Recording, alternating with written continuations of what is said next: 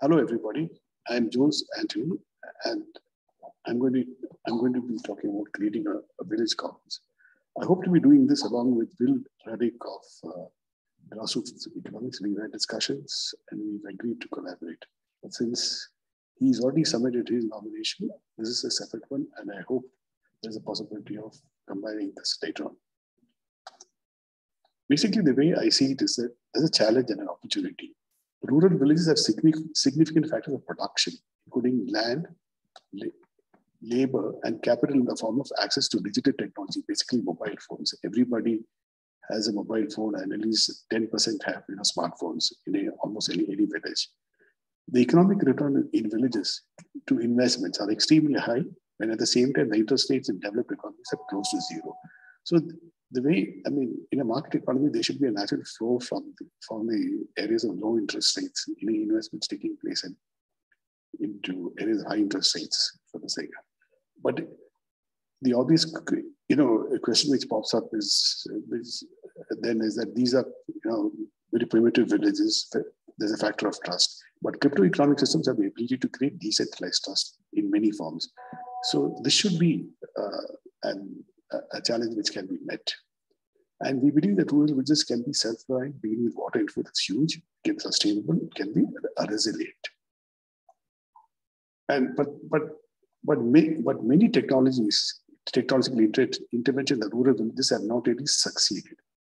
Jeffrey Sachs Billion Villages project, after spending 150 million, MIT's uh, uh, the, one, lap, one laptop child of you know Nicholas Negroponte, even even even community currencies, they have not had the impact which we thought they should have.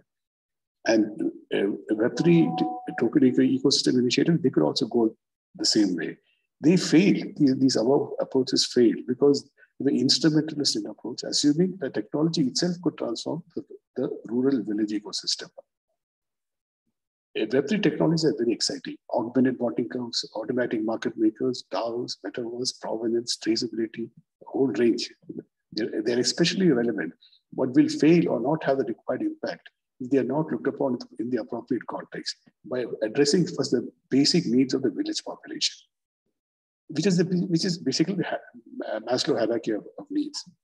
You see like like a starts off with, with you know a, a, a self-sufficiency potable water, food, create agri surpluses, processing, service trade. The the sort of development should uh, progress in this in, in this uh, you know uh, direction roughly, not absolutely, but and every every stage has has, has, has under, underlying core technology like potable water as rainwater harvesting and all that. This, like that. this has to be kept in mind.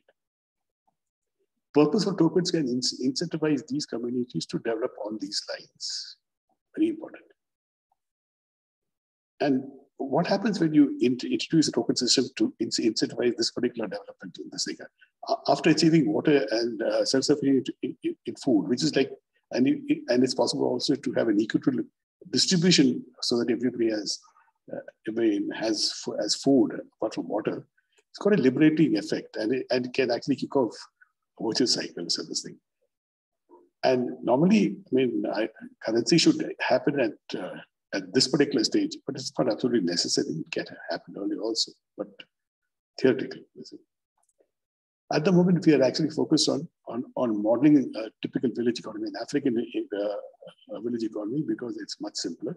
The sole intention of actually how to boost per capita consumption from locally produced food to meet the minimum, to make it self-sufficient.